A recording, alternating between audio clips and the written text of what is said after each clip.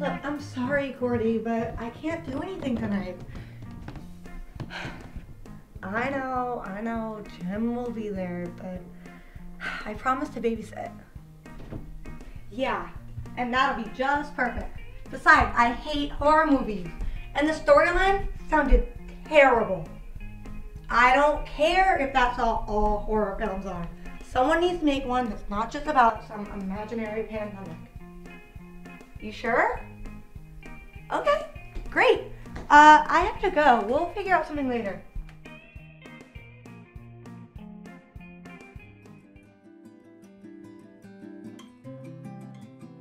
Wave goodbye, Emily.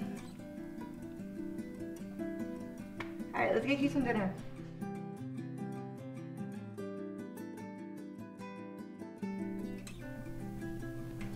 Will you play with me? I'm sorry, but it's time to go to bed. No, I want to play with trucks. No, Emily. Mommy and Daddy said you're always tired in the morning. You have to get to bed earlier.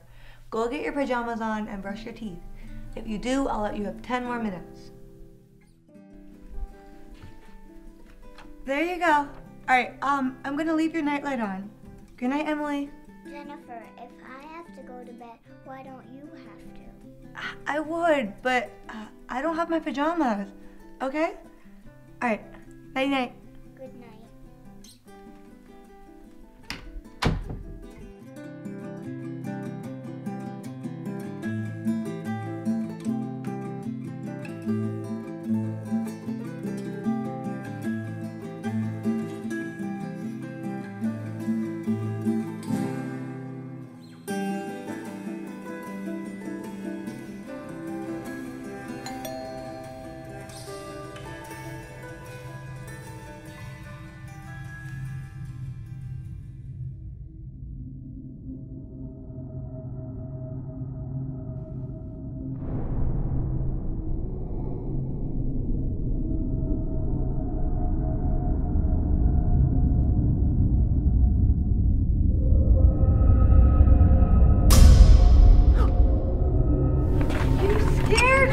I'm I'm sorry. You see, my truck broke down a few miles back, and I really need to finish my route. Can you just please just sign this? But I'm not actually the.